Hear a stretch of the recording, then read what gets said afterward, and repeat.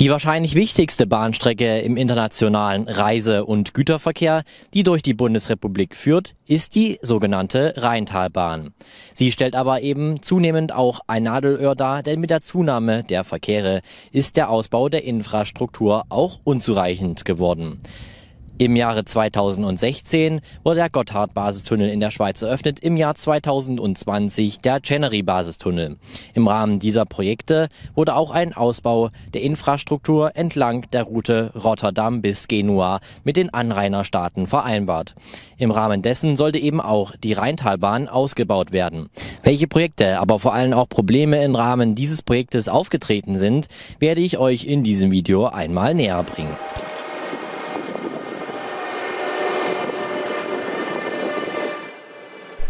Die vollständig als Rheintalbahn bezeichnete Strecke ist 271 Kilometer lang und führt von Mannheim Hauptbahnhof aus über Heidelberg und Bruchsal nach Karlsruhe und von dort aus weiter über Offenburg und Freiburg bis nach Basel.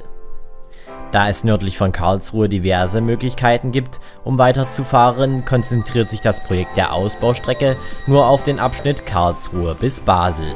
Um besser verstehen zu können, wie die Rheintalbahn ausgelastet ist, und wo sich somit die Nadelöhre ergeben, wollen wir zu Beginn des Videos einmal auf die planmäßig verkehrenden Personenzugleistungen schauen.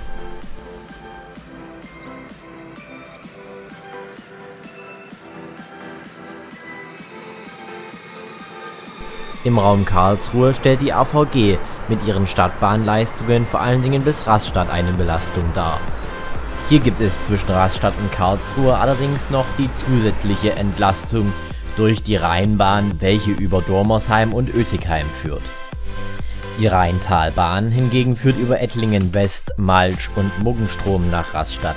Auf ihr sind die S-Bahnlinien 71 und 81 unterwegs. Die S71 ist dabei stündlich unterwegs und endet in Rastatt, genauso wie die S81, welche allerdings bis Vorbach verkehrt. In Rastatt treffen sich dann diese Linien noch mit den Linien S7 und S8. Die S7 führt dabei weiter bis Achern. Mindestens einmal stündlich verkehrt ein Regionalexpress von Karlsruhe aus nach Offenburg über die Rheintalbahn, der dann weiter bis nach Konstanz fährt.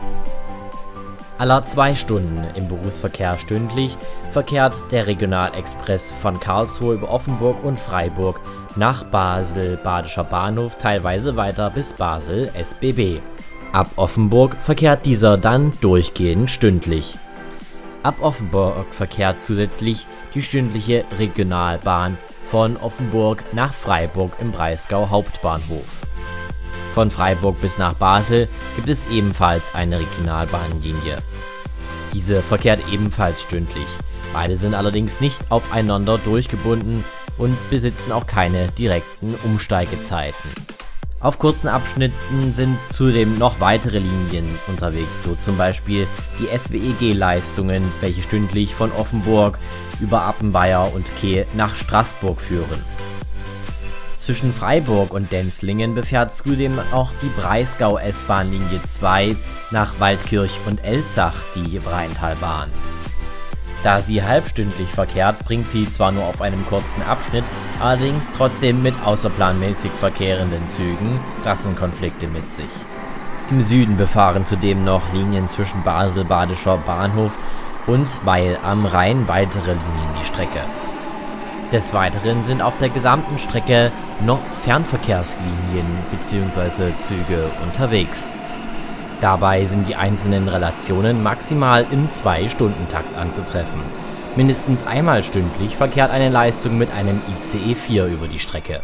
Meist von Basel aus teilweise aber auch je nach Relation von Interlaken und Zürich aus fahren sich zum Stundentakt ergänzend zwei ICE-Zuglinien bis nach Kassel-Wilhelmshöhe und von dort aus einmal Richtung Berlin-Ostbahnhof aller zwei Stunden und aller zwei Stunden ebenfalls nach Hamburg-Altona und teilweise weiter nach Kiel. Meist mit ICE 3 bestückt sind die zweistündlichen Zugleistungen über die Schnellfahrstrecke von Frankfurt nach Köln. Diese starten dabei meist in Basel und finden ihren Endpunkt entweder in Köln oder in Dortmund. Darüber hinaus ebenfalls mit ICE 3 unterwegs sind einzelne Zugleistungen, welche nach Amsterdam über Duisburg unterwegs sind. Dabei wird dann die entstehende Taktlücke des anderen Intercity Express mit ICE 3 mit aufgefüllt. Zusätzlich aufgefüllt wird diese Leistung von einzelnen Eurocity-Leistungen, welche von Zürich aus nach Hamburg-Altona unterwegs sind. Diese sind mit Schweizer Intercity-Wagen und davor einer Baureihe 101 unterwegs. Darüber hinaus fahren noch weitere einzelne Zugpaare, so zum Beispiel der Eurocity Express von Frankfurt nach Mailand und der Nightjet von Zürich nach Hamburg sowie der TGW von Freiburg nach Paris über Offenburg. In das Fahrplankonstrukt aus den bereits vorgestellten Leistungen müssen sich dann die zahlreichen Güterzüge, die die Strecke zusätzlich befüllen, mit eingliedern. Und dies sind teilweise so viele, dass an manchen Tagen die Züge nahezu im Blockabstand über die Strecke rollen.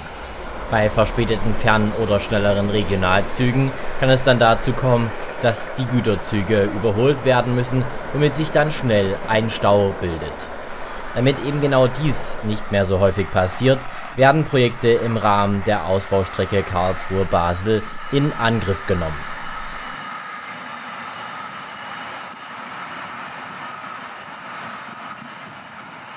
Der aktuelle Stand der Infrastruktur stellt sich wie folgt dar wie bereits erwähnt, ist zwischen Karlsruhe und Rastatt sowohl die Möglichkeit über die Rheintalbahn über Ettlingen West zu fahren, als auch über die Rheinbahn über Dormersheim und Oetigheim.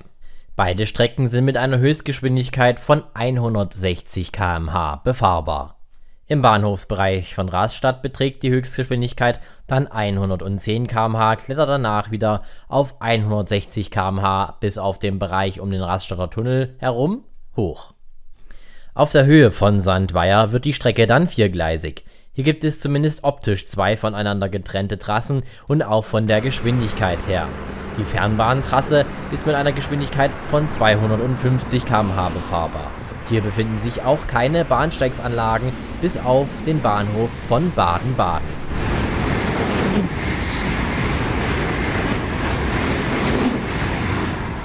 Alle Haltepunkte entlang der Strecke liegen hier in diesem Bereich entlang der mit 160 km/h befahrbaren Regionalzugtrasse.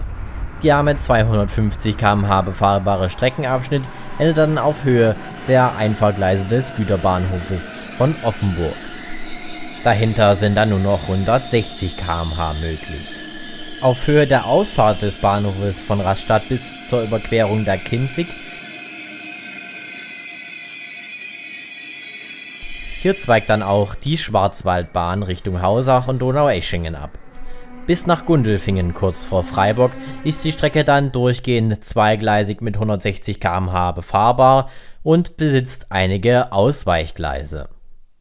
In Gundelfingen zweigt dann die Freiburger Güterumgehungsbahn ab, welche den Zweck hat, den Freiburger Hauptbahnhof von Güterverkehr zu entlasten Sie ist mit 100 km/h befahrbar, die Rheintalbahn weiter mit 160 km/h bis zum Freiburger Hauptbahnhof, dahinter dann mit 150 km/h. Auf der Höhe von Schallstadt sind dann für kurze Zeit nur 110 km/h möglich, danach steigt die Streckengeschwindigkeit wieder auf 160. In Schliengen zweigt dann die Strecke in den Katzenbergtunnel ab. Diese ist mit 250 km/h befahrbar. Die Regionalzugstrecke, welche hier die gelegenen Ortschaften anbindet, ist teilweise nur mit 70 km/h aufgrund von engen Kurven abschnittsweise befahrbar. Auf der Höhe von Eimeldingen führen dann beide Strecken wieder zusammen und über Weil am Rhein geht es dann bis nach Basel. Wie euch anhand der Hochgeschwindigkeiten der Strecken aufgefallen sein sollte, wurden an zwei Stellen bereits Ausbaumaßnahmen realisiert. Bereits im Jahr 1980 wurde der Ausbau der Strecke in den Bundesverkehrswegeplan aufgenommen, dabei allerdings noch in ganz anderer Form als heute. 1985 wurde dann auch der viergleisige Ausbau zwischen Rastatt und Offenburg aufgenommen. Im Jahre 1987 nach genehmigten Planfeststellungsbeschluss startete dann der Bau der viergleisigen Strecke. Im Jahre 1993 konnte dann bereits das Streckenstück zwischen Bühl und Achern in Betrieb genommen. Der Rest der Strecke, also zwischen Bühl und Offenburg, wurde dann bis ins Jahr 2001 fertiggestellt. Der besagte Vertrag für den Ausbau der gesamten Strecke als Zubringerstrecke zum Gotthard-Basistunnel wurde im Jahr 1996 am 6. September als Vertrag von Lugano geschlossen. Auch der Katzenbergtunnel, welcher im Jahre 2012 in Betrieb ging, wurde noch nicht im Rahmen dieses Vertrages geplant. Auch er war bereits Teil von früheren Planungen zum Ausbau der Rheintalstrecke.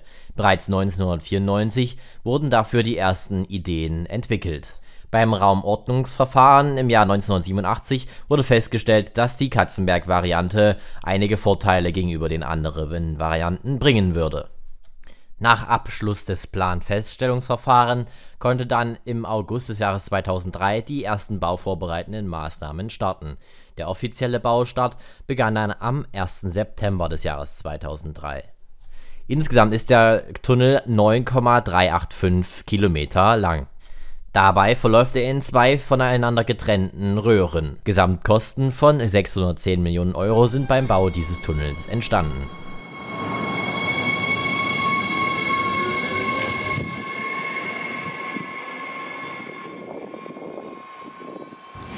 Eine der zentralen Baumaßnahmen, die derzeit entlang der Rheintalbahn realisiert werden, ist der Tunnel Rastatt. Im Jahre 2017 ereignete sich hier ein Unglück.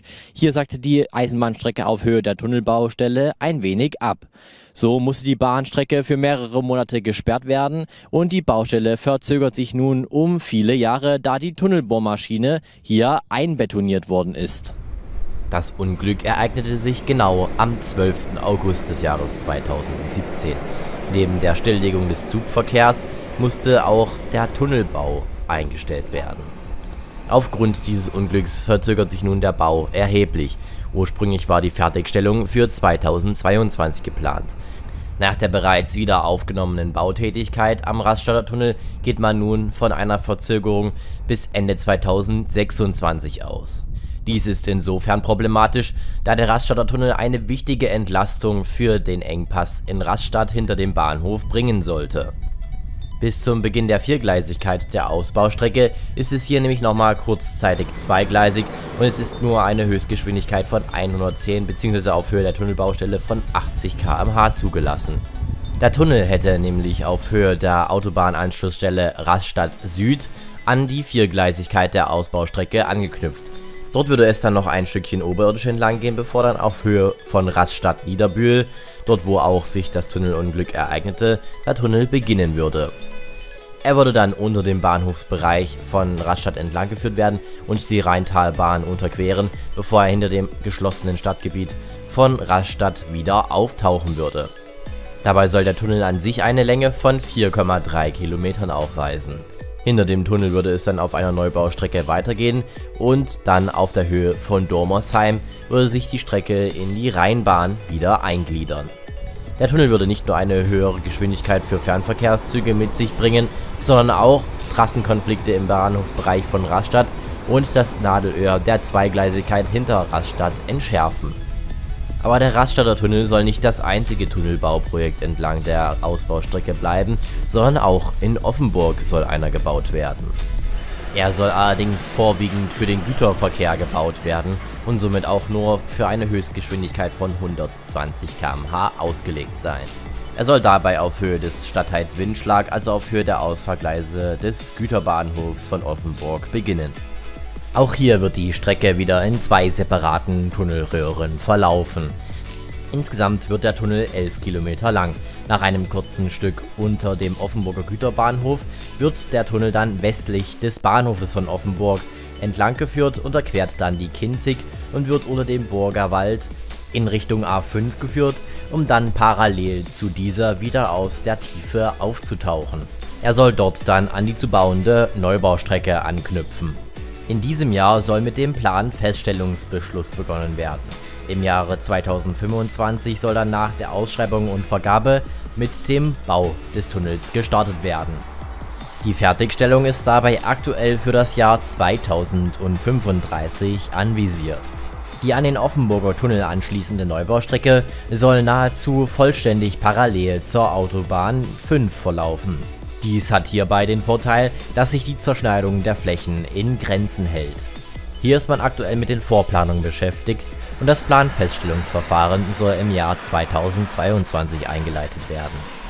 Wie der Tunnel soll auch diese Strecke vorwiegend vom Güterverkehr genutzt werden. Die aktuell nur mit 160 km/h befahrende Rheintalbahn soll auf 250 km/h ausgebaut werden, soweit dies möglich ist. Auf der Höhe von Kenzingen soll ein Verbindungsstück zwischen den beiden Strecken, also zwischen der Rheintalbahn und der Neubaustrecke, entstehen. Hier läuft das Planfeststellungsverfahren, auch aufgrund dessen, dass der anschließende Abschnitt schon deutlich weiter in der Planung ist.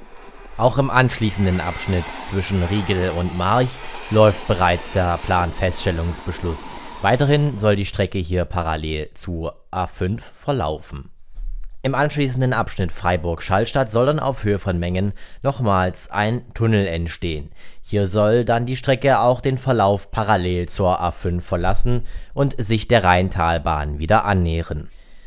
Auf der Höhe von Buggingen und Hügelheim soll sich die Neubaustrecke dann der Rheintalbahn wieder annähern und sich in Müllheim in diese mit einfädeln. Somit soll die Strecke auf Höhe von Müllheim insgesamt viergleisig ausgebaut werden im Anschluss beginnt dann die Trasse des bereits erwähnten Katzenbergtunnels. Zu guter Letzt fehlt dann noch der abschließende Bau der Viergleisigkeit zwischen Eimeldingen über Weil am Rhein bis nach Basel-Badischer Bahnhof. Der Abschnitt zwischen Kenzingen und Müllheim soll dabei, wie bereits erwähnt, schon deutlich früher als der zuvorhergehende Abschnitt zwischen Offenburg und Kenzingen in Betrieb gehen Aktuell wird dabei mit einer Inbetriebnahme zwischen 2031 und 2035 gerechnet. Der parallele Ausbau der Rheintalbahn auf eine Höchstgeschwindigkeit von 250 km/h wird sich dabei noch deutlich länger hinziehen als der Bau der Neubaustrecken. Vollständig abgeschlossen werden soll das Projekt dann voraussichtlich im Jahr 2041 mit dem Abschluss der Ausbaumaßnahmen entlang der Rheintalbahn dies wären dann insgesamt 26 Jahre nach der Inbetriebnahme des Gotthard-Basistunnels, dass die Anschlussstrecke durch Deutschland fertiggestellt wird. Selbiger Zeitverzug könnte auch der Anschlussstrecke an den Brenner-Basistunnel in Österreich drohen. Dort wurden vor wenigen Tagen auch die Unterlagen der Anschlussstrecke durch das Inntal vorgelegt Dort bleibt allerdings zu hoffen, dass mit einer beschleunigten Planung und einem guten Bürgerdialog sich der Zeitverzug in Grenzen hält. Für die Rheintalbahn ist der erste Hoffnungsschimmer die Fertigstellung des Raststadter Tunnels im Jahre 2026, womit das zweigleisige Nadelöhr auf der Höhe von Raststadt überwunden werden kann.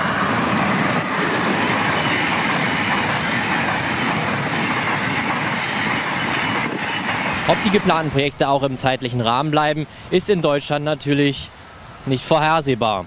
Und damit sind wir aber auch am Ende dieses Videos angekommen. Ich danke euch natürlich wie immer ganz recht herzlich fürs Zuschauen. Würde mich über einen Daumen nach oben und einen Kommentar unter diesem Video freuen. Wir sehen uns dann wie gewohnt zu einem erneuten Video in zwei Wochen wieder. Bis dahin, macht's gut, auf Wiedersehen und tschüss.